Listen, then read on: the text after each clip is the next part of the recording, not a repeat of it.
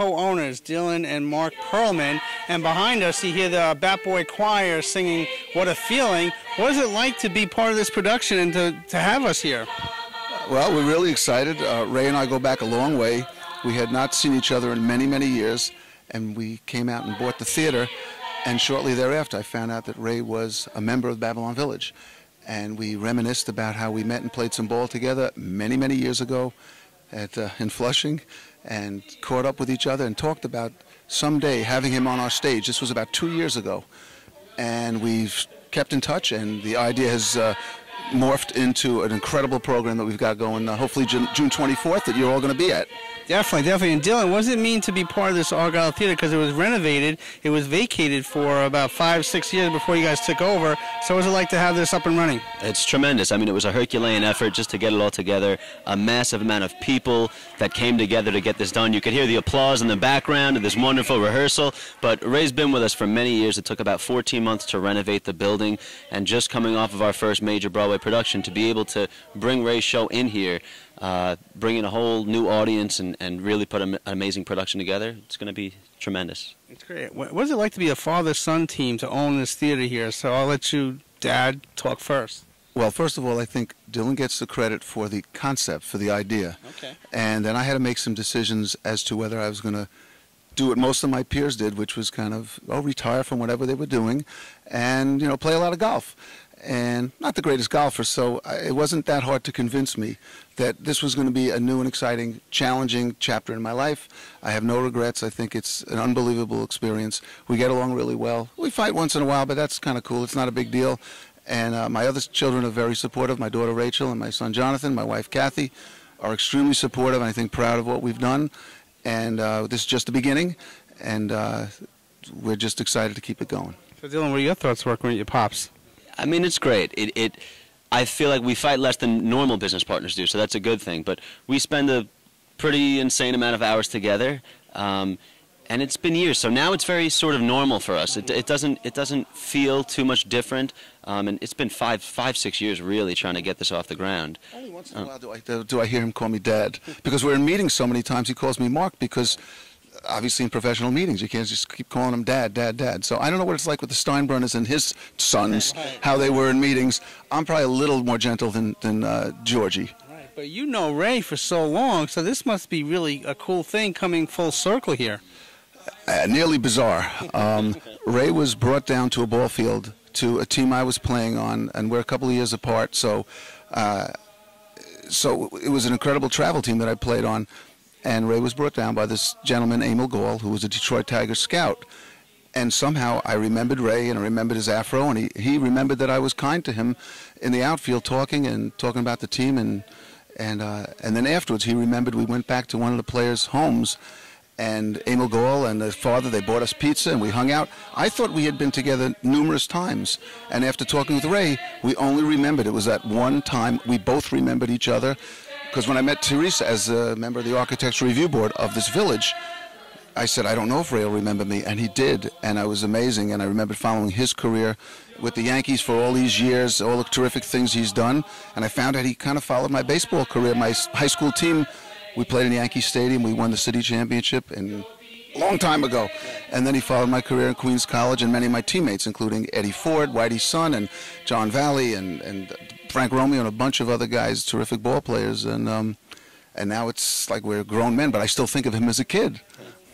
That's great. Now the theater's been open or reopened since April, right, of this year, and you have Guys and Dolls here now. How's that performance going? It's incredible. I think every person who has come and seen the show has been blown away, pleasantly surprised, however you want to put it. But I think for the people to come in and, and really see that they could actually see way caliber show. And and before the production was was open, I could say it. Now I can really say it because we've seen it. It's incredible, and I think to keep that to keep that going, and just have countless countless productions one after another, and it's it's enormous to put together because we're producing these shows from the ground up, casting shows, hiring designers, building sets, hiring musicians, everything. Um, it's just incredible. And, and we're thrilled that we have an occasional opportunity in between shows to bring bands and special events and, and the type, type of programming we're bringing this coming June. Just like Ray. The 26th, yeah. Just like Ray. And, and I think uh, for Long Islanders, they need to know about this. So, how can people contact you for this show, other shows, booking shows, anything like that? Well, we're at argyletheater.com is our website, and we're on Facebook, and we have an email. Uh, I guess the same thing, right? Well, how do they get us on, on the email list? You can email us at info at argyletheater.com. You can call the box office at 844-631-LIVE. That's 844-631-5483. But argyletheater.com, easy way to get to us, um, or Argyle Theater on Facebook. And in addition to all these things we're talking about, we're going to be having summer camp or summer program with uh, uh, Argyle Academy of the Arts, two three-week sessions from 9 to 3 for kids 7 to 15. We're going to be having children's theater starting in the fall, Saturday and Sunday mornings. We're going to have classes for kids Monday through Thursday afternoons after school. When I was growing up, we always had, and even today, we have so many things for sports. But the kids into theater, other than what's going on in the school, they don't have that many opportunities. So that was something really important. And we're going to bring in children's programming where districts and uh, classes can come in for tours, for educational programming, possibly stuff on bullying and Me Too and, and things related to their curriculum. Very, very important. Now, if a radio host want to take acting classes, can they do that? yes, but you know it's interesting because we both have something in common. Okay. As a, a, current school psychologist and a former school psychologist, I'm being the former one, retired from uh, Valley Stream Central High School District, maintaining my private practice in Wantagh. That's right. But because we work with children, so the educational piece is extremely important to myself and involvement. I mean, the community involvement, and really for us becoming a both a regional destination, but also a cultural community center, so that people can can come here where it's right in the heart of the village on Main Street and be a part of something, be a part of community, be a part of culture and learning, and and I just think it's so important that we maintain the arts, we maintain community, especially in this time. And, and finally, well, I don't know if it's finally or not, but we are um, we have an appreciation for, for live performance. That you know everybody's got these massive TVs and entertainment centers, and there's something you can't replicate in, in live performance, whether it's theater, whether it's what Ray's going to be doing.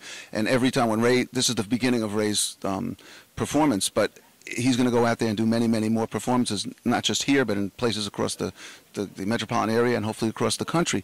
And every single production will be different in some ways. And that's the same with even Guys and Dolls. We, we see the show quite frequently, and you see little things, little differences. And so we, we love live performance. We love the fact that people seem to be interested and uh, appreciative of it as well.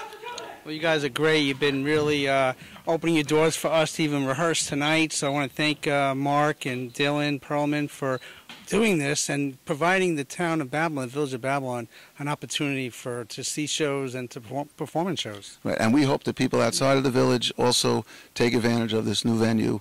I think they're going to have a wonderful time, and uh, we, we are more than happy to talk with people and introduce ourselves and answer whatever questions they may have, along with our team, which is tremendous. And what's better than one psychologist is two psychologists getting things done, right? That's right, man.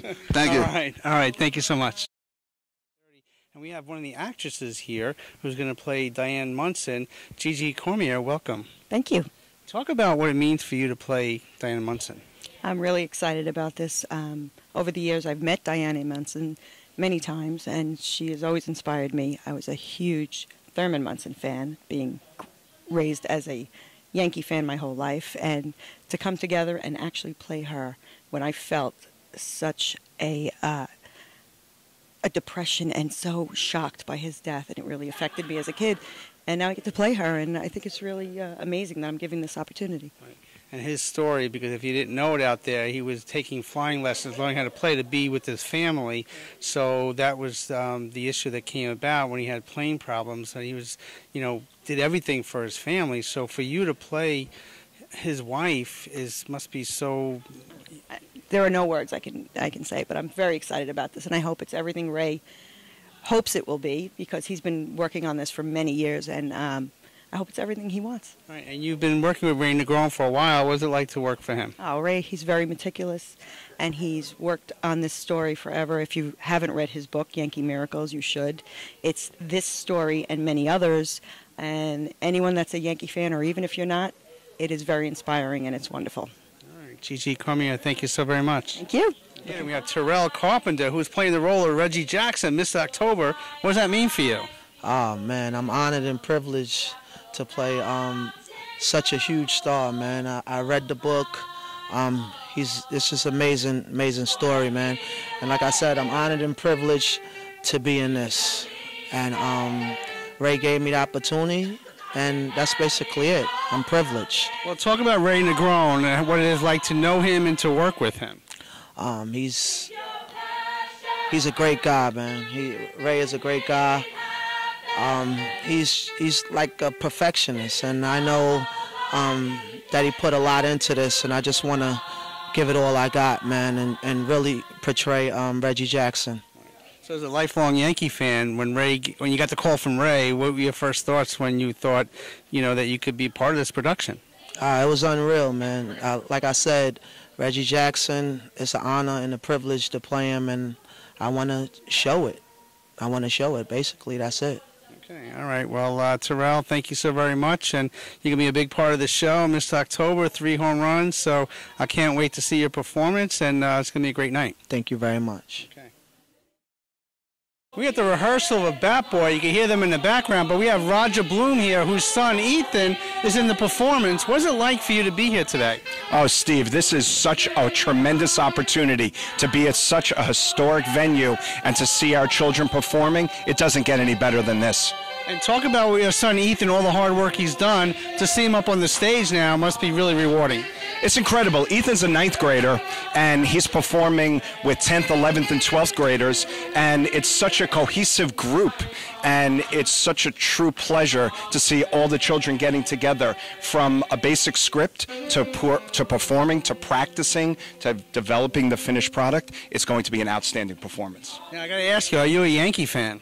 Uh, I'm actually a Yankee and a Met fan. Funny story, I grew up a Yankee fan. In the 1970s, I was there for all the World Series teams, living in Brooklyn, moved to Long Island, heard about two guys named Darryl and Doc, and became a Met fan. But these days, I root for both teams. So I'm one, always wonder, can can there be a Yankee and a Met fan in one person? Is that possible? It's always possible. When you take the spirit of New York, it transcends all the teams, whether you're a Yankee fan, a Met fan, any type of sport teams. As long as you have the spirit of New York and the love of New York inside of you, you can root for both sides. Okay, now I'm going to test. I'm going to test you because the Yankees and Mets played in the World Series a couple years back. Who'd, who'd you go for? There? I was actually rooting for the Mets to win because being a Met fan at this time, it would have been really exciting to see them win. But of course, they lost to the Yankees. But Ethan must have been progressing theatrically through the years at school, and now to see him on a stage like this, again, it's hard work, I'm sure, and but the parent parental support is very important. I know you with other parents here. How is that community together? It's incredible. The community of Oceanside and the theater company that's been developed inside the community has just been phenomenal. It's a system where the students start young and are mentored by the older students and by the staff, and then as they get older, they mentor others. It's a true community. Um, speaking for Ethan, he grew up in the theater. So at a very young age, I turned him onto music. I turned him onto the Beatles. So he was singing from a very young age. When he used to lose a tooth, instead of giving him money from the Tooth Fairy, we would buy him a Beatles CD. By the end, he had memorized all the songs. And to see him now singing on stage as a parent is an absolute dream for me. You know, I was at the dentist on Friday. They pulled a tooth, but do you have any Beatles CDs for me? Oh, absolutely, absolutely. We. it's very funny because I was at the dentist yesterday also for a possible root canal, so I can attest. All right, I'll let you have the Beatles CD, but it must be rewarding. You're an educator. What's why? Why do you the, the work that you do in the school system? Why is that important for you? And what's the most rewarding aspect of that? Wow, that's an incredible question. So, the whole idea of arts and education is so important. And in this day and age where test scores are really coming to the forefront, we have to remember to support the arts, whether it be music, theater arts, performing arts, visual arts. That is the core and backbone. When you look at all the research out there, any child who is going to be a well rounded, educated, what we call human being must have the arts. And without any of the arts, our children cannot progress. So any school district that is looking at certain types of programs, they must and absolutely must push the arts to the forefront of their educational um, package. Okay. And to end this, look in the camera and say, why do people have to see Bat Boy on June 24th? Bat Boy is an incredible story. It is not only the story of Ray Negron and his experiences, but it's the experience of every young child who has gone on to see their dream fulfilled. We talk a lot about mirror books and window books. Mirror books when you look at yourself, and the window books when you see the experiences of others. In this case, you're going to see the experiences of Ray Negron as a bat boy and see what he experiences is very different than what the fans or players might see in the game. And if you love baseball or you just love any aspect of being a youngster, this show is for you. I encourage you, please purchase a ticket, come to the show. You will not be disappointed. Bat Boy, June 24th. Well said. Are you trying to take my job away from me? Is that what you're trying to do here?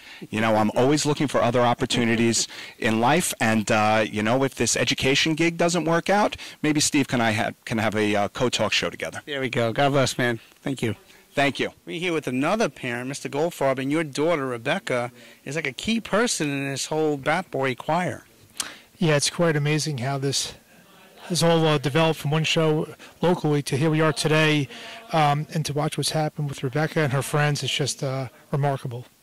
Talk about when you did the book, you did uh, Ray Negron's book signing. Uh, Rebecca and a troupe did at the Turner Clark School in Rockville Centre, and from that, now we're at the stage at the Argyle Theater. What does that mean to you as a parent?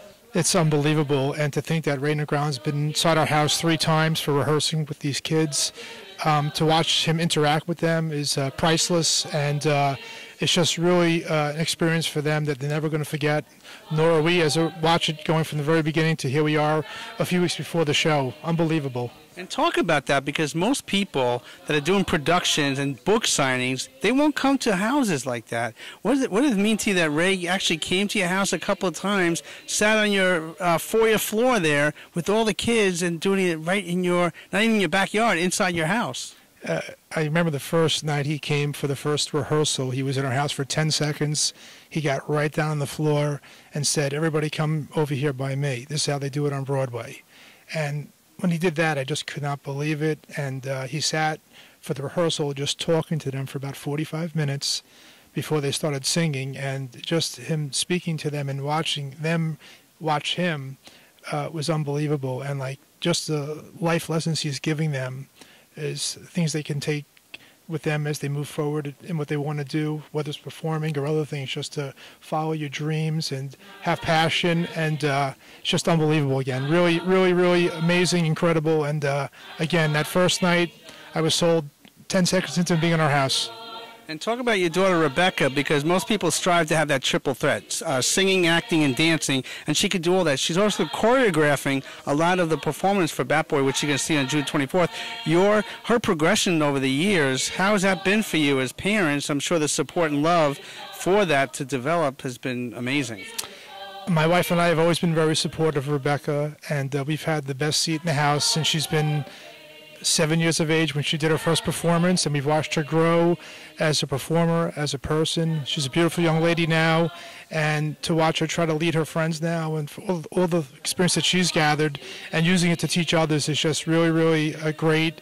And uh, we know it's going to be a great show, and she's going to do a great job, and the other kids are going to do a great job, and we're really looking forward to it.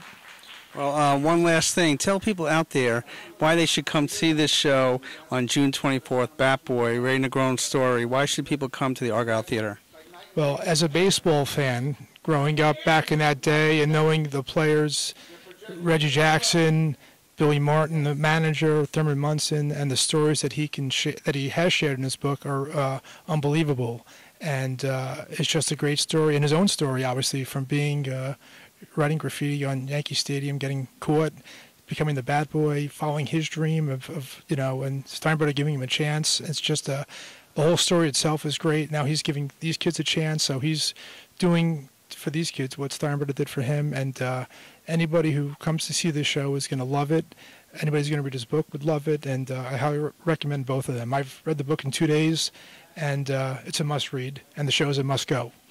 Well, a little birdie told me that you're actually a Met fan.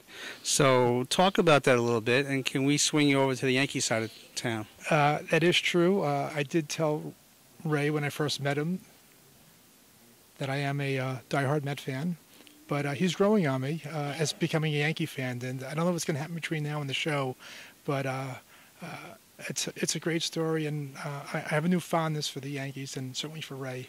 And I'm happy to be here tonight. That's what I was looking for. Thank you so much, sir, and uh, enjoy the show on the 24th. And come on out to the Argyle Theater. We have Isabel Nacera here, and talk about what it means to be part of the Argyle Theater. It is really an amazing experience to be a part of the Argyle Theater. I mean, the children are just so excited to be here, and Ray has done an incredible job. I mean, I think it's this is a story about love, unity, brotherhood, um, and dreaming and being hopeful. And what does it mean for your son to be part of all this? Oh, he is just so happy. I mean, he gets a chance to be with his friends and learn more about, you know, the Yankees, and it's just really, really such a special experience for him. So when you got the call, uh, understanding what was going to take place a couple of weeks ago, what were your first thoughts? Well, my thoughts were like, wow, what an incredible opportunity. This is so nice. You know, it's good for the children um, to really get out there, get exposure, and learn more about the theater and the arts and, you know, overall, like just athleticism, I guess. yeah. And talk about his journey in theater when he was younger and to now. I'm sure as a parent, it doesn't get better than that. Well, yeah, I mean, you know, Anthony, uh, he's always been uh, very energetic and really into the arts and love to dance, love to sing. And, you know, we've seen him develop through the years, doing a lot of like plays in school, in the community, and seeing him get to this you know level is just so wonderful because he's really growing and developing every day. I could see when you give him advice. I've been part of the rehearsals, and when you tell him something, he's listening, and you could see the the benefits of that because he's really passionate and emotional in his character. Yes, he is. I mean, he takes instruction well, and he's just an amazing, you know, son. He loves what he does, mm-hmm. and he's able to really take instruction and go with it, and you know, change it into something wonderful. Right, right. Yeah. And recently we just met Mickey Rivers. So how was that for you as the, as the Yankee fan, but having the kids see that and learn a little bit of Yankee history? You know, it was really amazing to meet uh, Mr. Rivers. He was really nice and a sweet, sweet man. And I think it was just another wonderful experience again. I mean, I just can't stop saying it because it's so amazing. You know, he he just put the icing on the cake. Well, why should people come here on June 24th? Not just to see your son, but the whole performance of Bat Boy, but come to this historic Argyle Theater? I think people should come out because it's going to be a really wonderful family experience. You know, um, you know, watching a show about dreaming and hope, and just it's very inspirational. All right. Well, thank you so very much, and uh, you have good seats for the 24th. Oh yeah, definitely. I'm sure you can be right near the front row, right? Yeah, that's right. All right. Thank you so much. Thank you. We are standing outside the Argyle Theater because on June 24th, Bat Boy is going to be performing here, and we have saxophonist Colleen Farquhar here, and you're going to be in this performance. What does that mean to you?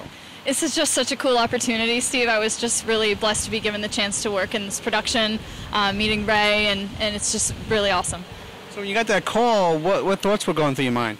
I really had no idea what to expect, but um, once I met Ray and played for him, like everything just came together. We all got along, and you know now I'm sort of like you know assisting with the musical direction and everything. So it's really cool. I really feel like a, a, an important part of it now. Now you've been a saxophonist for a long time. Talk about your musical journey a little bit. I moved to New York about four years ago um, from St. Louis, actually, and now I play with a bunch of great bands um, all over the tri state area, mostly Long Island. I play in a cover band called Schroeder's Ghost, which I'm very proud of. Another great cover band called Cover to Cover, and I do a couple tribute bands. I do a Meatloaf tribute called All Revved Up, and a Billy Joel tribute band called Cold Spring Harbor. So you're all over the tri-state area. What does it mean to perform to so many crowds out there? That connection that you have with the audience. Connecting with the audience is really the most important thing. Like the reason that we do this is sharing our music and our joy and our passion with people, you know, our audience and connecting with them, and that's what it's all about.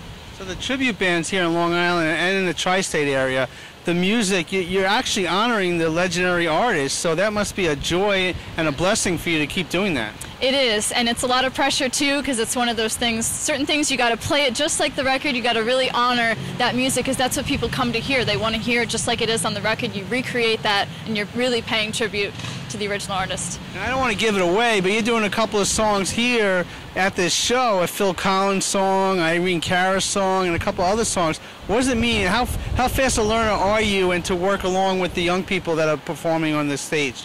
It's coming together pretty quickly. I learn songs constantly. I mean, that's what I do, so I can just like listen to them over and over, and then pretty much pick up the horn and play it. Um, so, and it's it's been really cool too to help the kids and kind of, you know, in one of the roles that I'm playing, I'm sort of their music teacher.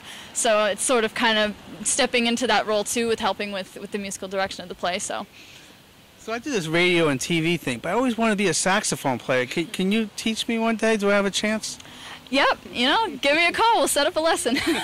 but, but seriously, this why should people see this show? Because Ray Negron has a, a, powerful story. It started in the early 70s. He's actually giving back. He's having young people perform in his um, theatrical stage performance here. So what does that mean to you when you see someone in that celebrity status kind of giving back?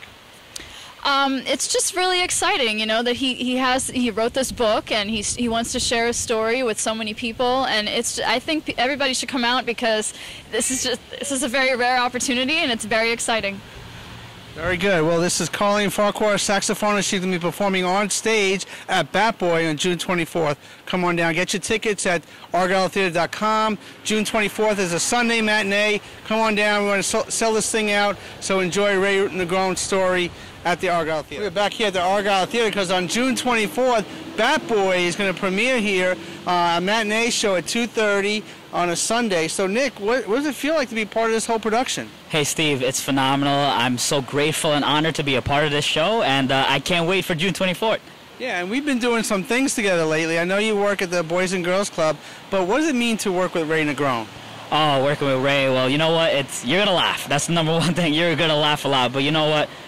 I'm so grateful and honored and blessed to have met Ray. Um, you know, I've known him for a couple years now, and he's just he's changed my life. You know, just being a you know following him, shadowing him around wherever whatever he does, and I've learned so much from him. Uh, he has such a big heart, and uh, you know, to see him, a good friend of mine, to tell his life story, you know, on stage, it's it's so exciting. So you met him a couple years ago. You said he changed your life around. Give a little example how he did that for you. Yeah, absolutely. I mean, uh, a couple years ago, I was trying to figure out, you know, find myself, you know, and uh, uh, Ray kind of took me underneath his wing. He he heard about my story, and uh, he was like, "Listen, you know, now you're going to be shadowing me at events." And uh, from there, I got to meet a lot of amazing people down the line, and uh, they have kind of took me underneath the wing. And from there, the rest is history. Right. So what's the message you want to give to young people out there since it seems like Ray gave you a message and you've been giving other people messages too. What's that message you want to give to young people? Keep working hard. Keep working hard. Keep fighting. Um, everybody has a story no matter what you go through. Um, you know, it's, it's about, you know, focusing that there's a light at the end of every single tunnel. And uh, keep working hard, keep pushing yourself, and good things will happen. Now you're the, you're gonna be the stage manager here, so you're gonna run a tight ship, or you're gonna let things go by the wayside. What are you gonna do? Uh, I'm you know it's my first uh, pretty you know pretty big responsibility, but uh, I'm gonna make sure I do the best that I can, and uh, you know we'll see what happens. Well, you know you've been co-hosting with me for the last couple of months. You're doing a great job, first of all, and I love the message that you give to so many people and for young people at the club and outside the club because Ray does that message. So what does that mean to you to connect with young people? Uh, it means it means a lot. You know, um, like I said, you know, being able to see children smile on a day-to-day basis is just such a phenomenal experience and such a great sight. And uh, I love it. I love it. And why should people come down to the Argyle Theater on June 24th? Well, Steve, I'm going to tell you this. Uh, I was sitting all the way up in the balcony in the last row, and I was so pumped and full of joy when I was just listening to rehearsal. And uh, I just can't wait until I, I felt like I was already at the show. I thought it was June 20, 24th already, but uh, I was you know listening to it and uh, you know I got so much excitement today at rehearsal. I just can't wait to see what happens now on June 24th. But I'm telling you, if you're a Yankee fan or not, it's such a great, inspiring story, and you should definitely stop by. And what do you think about the venue here, the Argyle Theater? Because it's under new ownership now. They kind of renovated. They gutted it all out. It's beautiful inside. What are your thoughts inside? Beautiful, beautiful, beautiful. It's a great atmosphere. It's a great town to be a part, uh, to to be in, and uh, you know, I'm I'm really happy to be part of it. Yep. Okay. Well, Nick Singh, thank you so very much, and uh, we'll be working together as the weeks unfold. But June 24th at the Argyle Theater, Bat Boy, come see it. ArgyleTheater.com, get your tickets, and come down to the village of Babylon and get your tickets at the box office. So cool, cool. Standing outside the Argyle Theater because on June 24th, Bat Boy is going to premiere here with Ray Negron. But we have a dynamic duo here. We have a father and daughter. We have Joe and Madison and, and, and Joe. Talk about your daughter and you know maybe some of the good things that she's doing. Oh, she's doing great things. She's actually a third year in uh, medical school, really studying hard. She's going to be a great doctor, and um, she's going to be OBGYN, which is awesome. So as a parent, it doesn't get better than that, does it? No, it doesn't get better than that. Very proud of her. Now talk about Just Smiles project because you not only do the, do all the filming here for our show at the production uh, for Bat Boy, but you have Just Smiles project. Explain to our viewers a little bit about that. Uh, Just Smile Project is basically um, I donate my time and my talent to photographing kids with special needs and disabilities. I recently um, acquired a truck with a uh, studio in the back of it where it has a lift. Um, it was also donated as well. And um, basically, I have some sponsors that keep it going so I can make these kids smile. So Madison, why do you want to be a doctor? And, and talk about the work that your father's been doing all along. Why do I want to be a doctor? Oh man, I feel like I'm on my interview at presidency.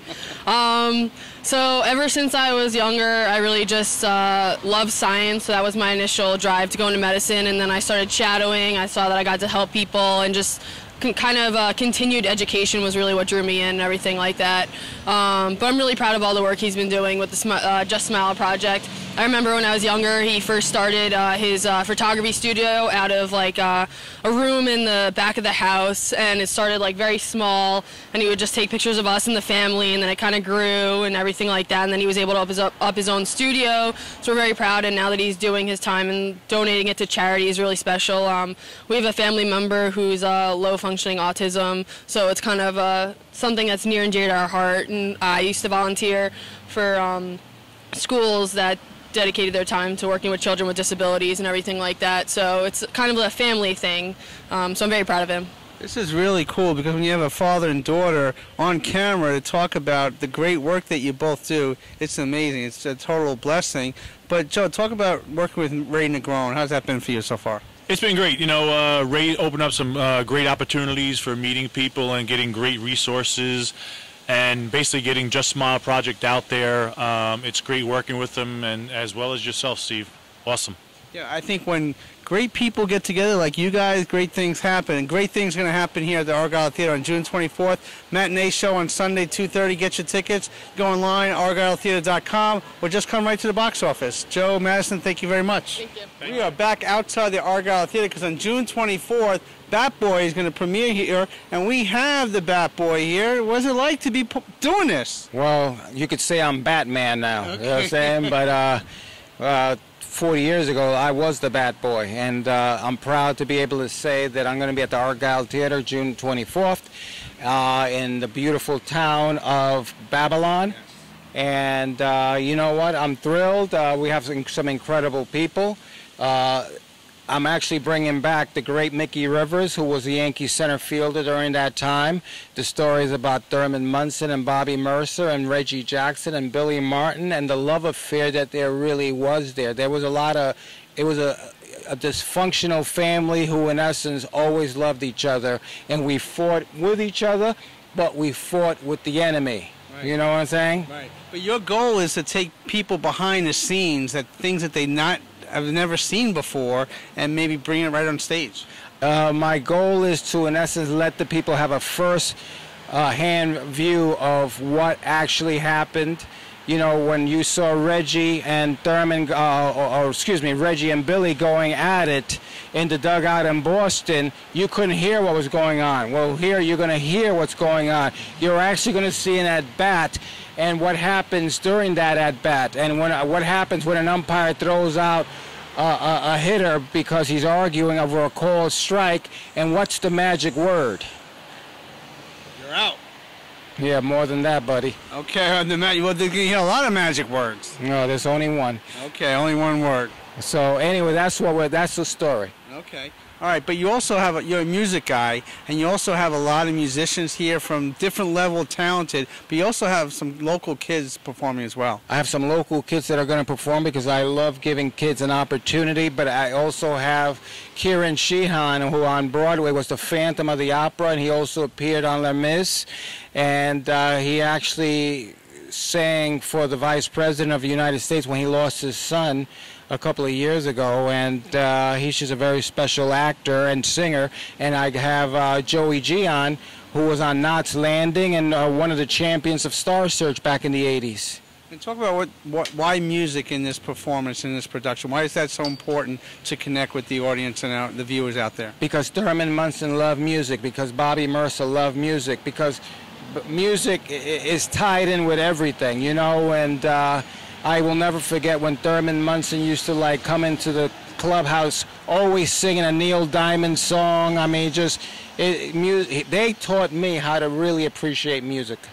And you got Nick Singh over here, who's going to be the stage manager. Nick, what does it mean to be a part of this and working with Ray? Uh, it means a lot. Um, I really can't wait. Ray's such a good guy, and he the things that he does on a day-to-day basis is just phenomenal. And uh, I really can't wait to be a part of this show. It's going to be incredible. I know you guys know each other for a little bit of time. Talk about your relationship with, with Nick. He's a cool kid who I met at uh, at Suffolk Community College when I was speaking there one year, and uh, we've been friends ever since. And I wish him good luck with everything that he tries to do with his life, which I think will be a lot.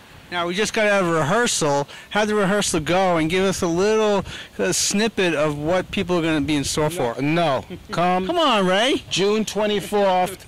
Tickets are still available, from what I understand, and it's going to be a, a great, great show, something that's never been done before. And uh, my goal is that we take this thing to Broadway someday. So we'll see. All right. Well, Ray Negron, Bat Boy, June 24th at the Argyle Theater. Get your tickets at argyletheater.com or just come right to the box office.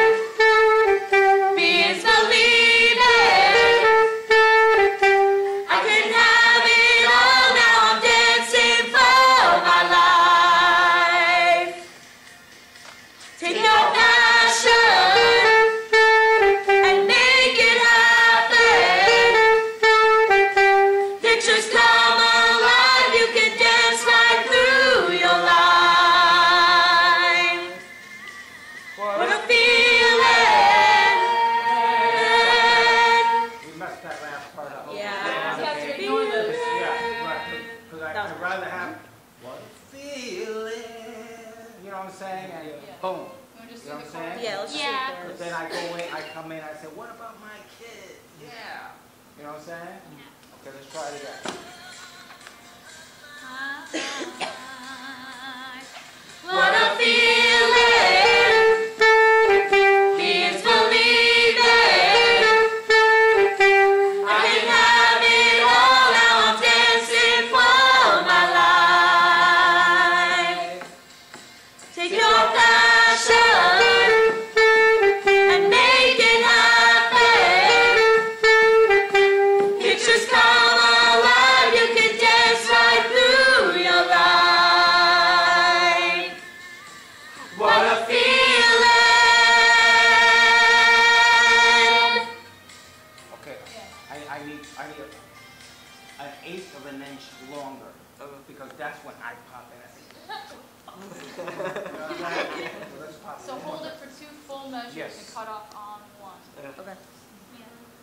So from the chorus again? Yeah. And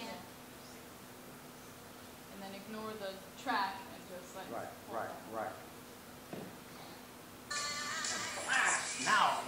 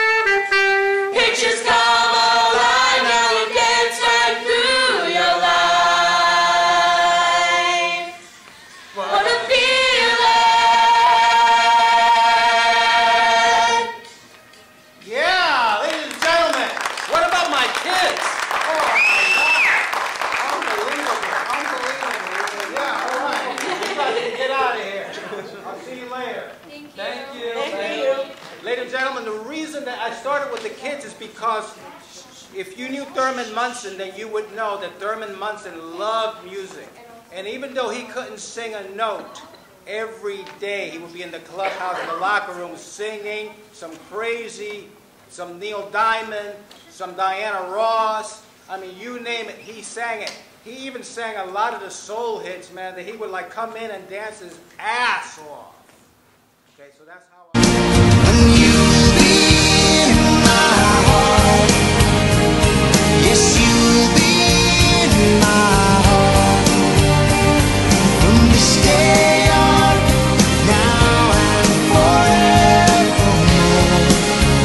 love that song, Moving in My Heart. Phil Collins. And that's going to be the essence of the theme of the, song, of the show, uh, Bat Boy, Yankee Miracles. Or right. Bat Boy, a Yankee Miracle. June Bat 24th Boy, at the Argyle Miracle. Theater. Yep. Bat Boy, a Yankee Miracle. Argyle Theater in Babylon. All right.